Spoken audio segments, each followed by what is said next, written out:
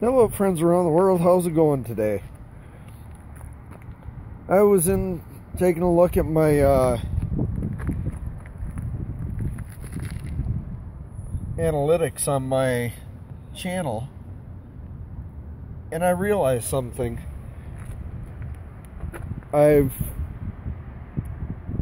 I've got almost a thousand views now on my channel. I've only got 20 subscribers. Some of my older videos, you know, they had 77 and 54 views. I was posting them on my Facebook. I don't know, I could do that again, but I'm just... I want it to develop naturally. I don't want to force it down people's throats. Am I going about it wrong? Probably. I kid trying to get him to where maybe he'll start doing some more of his own videos. Not be so afraid of the camera. Look, it's not going to get you. so trying. I have my computer set up. just now I'm running out of games to play. excuses, excuses. Beat all of them. Did you record them when you beat them? No. No. oh, brother. on my PlayStation. yeah, we got some slightly overcast skies today. This is more typical Sault Ste. Marie skyline here.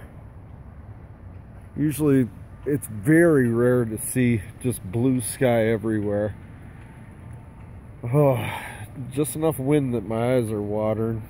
Don't worry, I'm not sad. I'm not crying. But when it comes to the crying thing, uh, a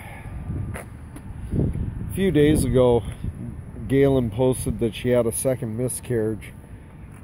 I'll tell you what, the, I couldn't even imagine the pain and heartbreak that you're going through. I I feel very fortunate to have this one. I sent Galen a message and it said, you know, sometimes it's just not meant to be. She really wants another child and I hope her and Byron, they have another one and I hope it's healthy and happy and for us it was a little different situation. Um, my wife, she almost stroked out during childbirth. She was having trouble with uh, contractions, so they induced her. Then her blood pressure went out of control. Then they gave her Sadol to help with the blood pressure. Then the contractions went back to uneven and she'd have a strong contraction, a weak contraction, a medium contraction. It was just not a good good experience for us. She made it through. We ended up with this one. hey, show me your shirt. This is the kind of attitude that this kid is. I got one of the Foamy the Squirrel shirts. Probably one of my favorite shirts I've ever had.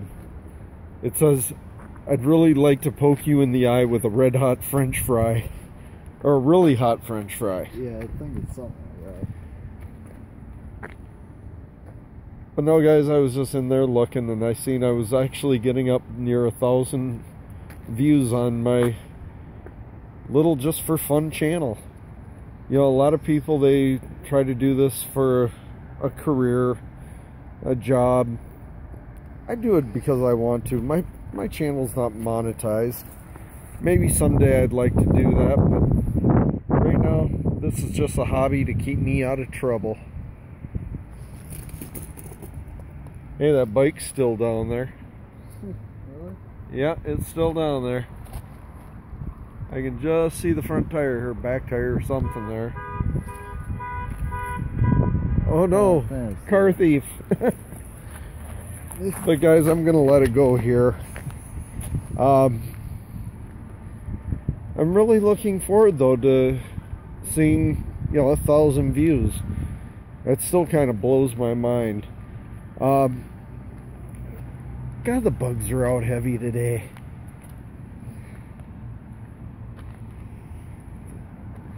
The heck was that one? Oh, there it is. Stung me when I was young. Yeah, one of those, uh, I think it's a Japanese. Yeah, it's a Japanese one.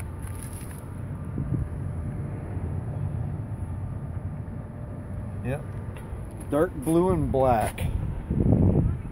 Tell you what, Brent got stung by one of those. His hand went numb.